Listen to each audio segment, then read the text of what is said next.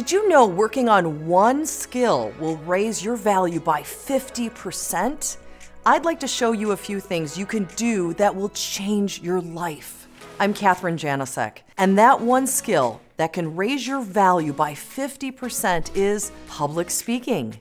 Many of our clients, Fortune 100 companies, doctors, CEOs, and salespeople hire our company to train them so they're more confident when speaking to the media, in webinars, with investors, the board, on stage, in job interviews, and with clients, basically everyone. When Warren Buffett went to college, he avoided all classes requiring public speaking. He was terrified of it. When he graduated, he realized that his fear was killing his ability to move up in his career. He took a public speaking course after college and has since said, quote, "My public speaking course was arguably the best investment I made in my life."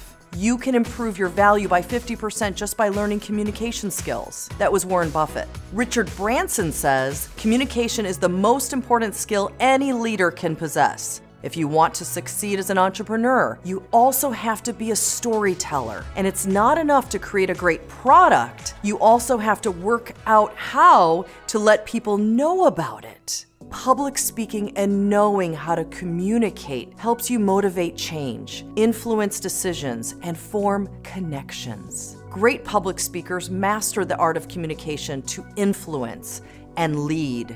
You must be able to effectively communicate with your boss, your colleagues, employees, customers, future customers, patients, donors, and investors. Leaders who inspire are trusted by their employees. Leaders with communication and public speaking skills have a much easier time influencing their coworkers. Plus, public speaking helps you increase your confidence level. If you can get up in front of a crowd, you can ask for a raise, inspire your employees, have more successful first dates, even be more successful and happy at home. If you enact the skills that we teach you here, you'll be much more prepared the next time you're speaking with one person or millions.